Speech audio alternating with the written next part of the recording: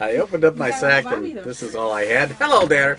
It's your old pal Santa Claus. You'd better have been good, or otherwise you're not going to be visited by me at midnight with an axe or something like that. I just want to wish a Merry Christmas to the Gregulas, my good friends, and I hope that all of you out there will put out cookies, uh, $5 bills, and used credit cards so that when I come by your house, we will have a very, very Merry Christmas.